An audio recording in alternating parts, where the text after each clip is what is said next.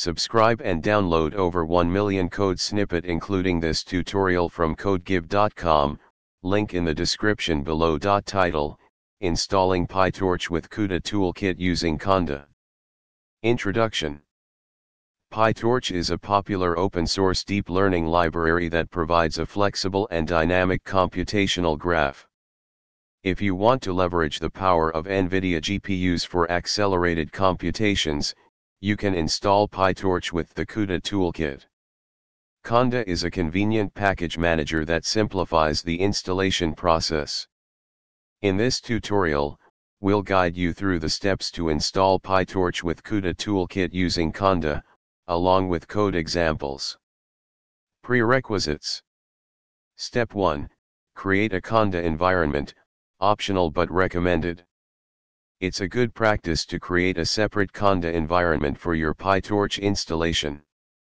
This helps to manage dependencies and avoids conflicts with other packages. Replace myenv with your desired environment name.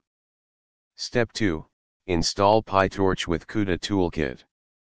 Now, let's install PyTorch with the appropriate version of the CUDA toolkit.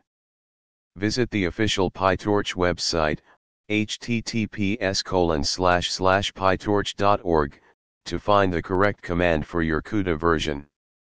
As of my knowledge cutoff in January 2022, the following command installs PyTorch with CUDA 11.1. Make sure to replace 11.1 with your CUDA toolkit version if it's different. Step 3, verify the installation. After the installation is complete, verify that PyTorch is installed correctly by launching a Python interpreter in your Conda environment and importing PyTorch. The above Python code should print the installed PyTorch version and indicate whether a GPU is available. Conclusion Congratulations! You have successfully installed PyTorch with the CUDA toolkit using Conda. Now you can leverage the power of your GPU for accelerated deep learning computations.